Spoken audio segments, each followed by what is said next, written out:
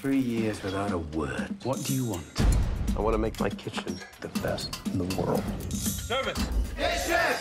This is a redemption story, basically, about a guy who could easily have been a professional athlete or in the military or a musician or an actor or somebody who is trying to do everything on his own.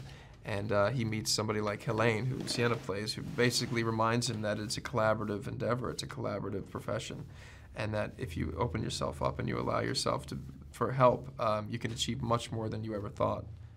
So it's ultimately a movie about redemption in that way, set in this world of hunting for your third Michelin star, which is a cutthroat, um, high octane environment. Are you sure he's famous? He's a two-star Michelin chef. To get even one Michelin star, you have to be like Luke Skywalker. You have a nice dress? I gotta go to this party, and uh, you're the only girl that I know. In terms of the mo- this specific movie, we had access to Marcus Wareing, who was the consultant who created all of the dishes. He was there on set, behind the monitor every day. All the other chefs that, are, that you see in behind us in the kitchen or around us, they're actual cooks in kitchens around London. There were no actors, so we all had the pressure of having to not be those like actors pretending to do it because it was a functional kitchen. She is on, you know, over a stove that's 120 degrees, burning herself. We're cutting ourselves uh, all day long, really cooking food.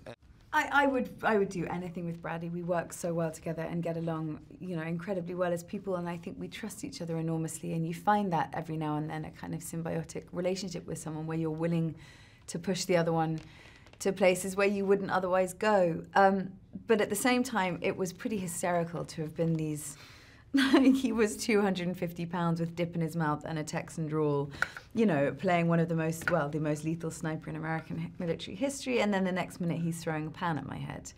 So you really got a sense of the schizophrenic nature of what we do. We should be dealing in culinary orgasms. Remind me never, ever to discuss food with you in public. I don't know if I can do it. You can't do it alone. You're the best. The rest of us need you to lead us to places we otherwise wouldn't go. It's my daughter Lily's birthday. I want a cake. No, no cake. You're a chef. You can make cakes, right? You're the ogre. The one who shouts. Yes, but I bake great cakes. Good. I've had better. Really?